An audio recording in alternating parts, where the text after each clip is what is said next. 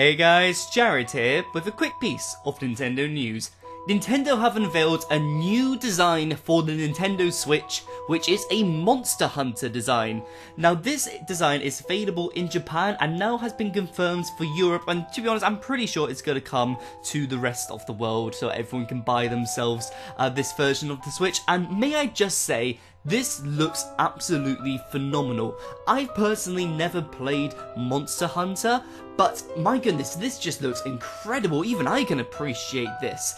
Nintendo have released this in order to celebrate the release of Monster Hunter Rise, and this will be available in bundles with uh, with the um, game itself. And as you can see by the images, they've gone to town on the patterns and the designs all over the Switch. The Switch box itself has the designs all over it, the controller has the designs, which I think looks amazing. Even on the back of the controller has the designs, has sort of patterns and stuff. Uh, the Switch itself looks absolutely glorious on the back, and they've even got a Pro controller coming out. So if you've already got a Switch, like most of us do, you can still get yourself a Pro controller Heck, I'm sure you can even get yourself some Joy-Cons at some point with, with these uh, designs.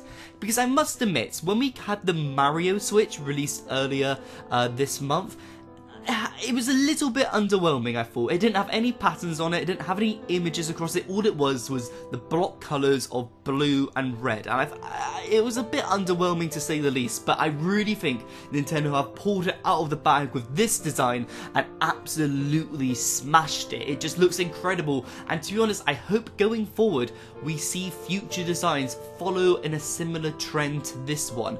But what do you guys think? How does this rank on your Nintendo Switch design list? Is, is this at the top or is this maybe potentially at the bottom? Be sure to let me know in the comment section below and be sure to subscribe for all things Nintendo.